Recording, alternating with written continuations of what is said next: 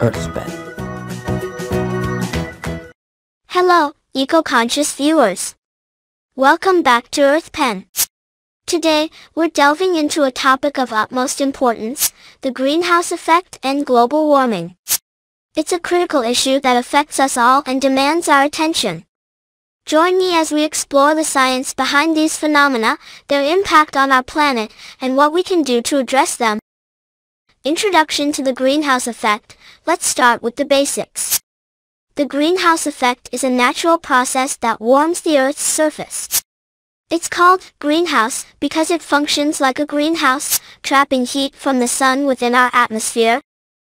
How the greenhouse effect works. Here's how it works. The sun's energy reaches the earth in the form of sunlight. Some of this energy is absorbed by the earth's surface, warming it.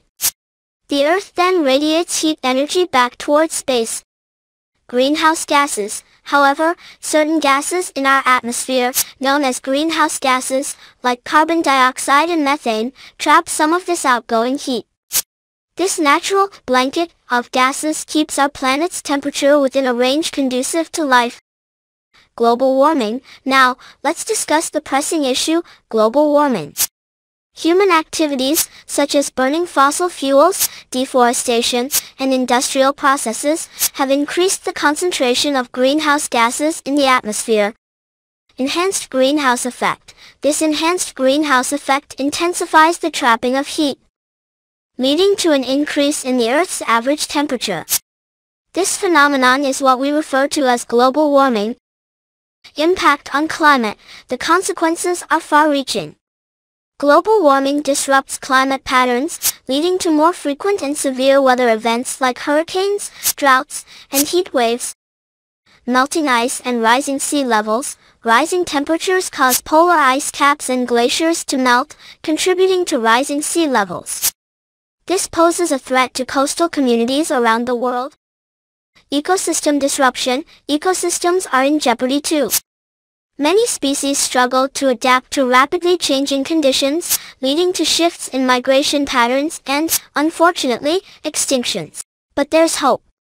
We can mitigate global warming through measures like transitioning to clean energy sources, reducing emissions, and reforestation, in conclusion, the greenhouse effect and global warming are not just scientific concepts, they're real and impactful forces shaping our world.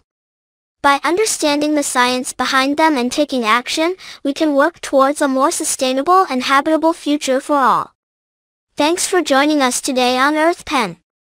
Don't forget to like, subscribe, and share your thoughts or questions about global warming in the comments below. Until next time, let's be stewards of our planet. This is Earth Pen. Learning has never been this easy, for anyone, anywhere.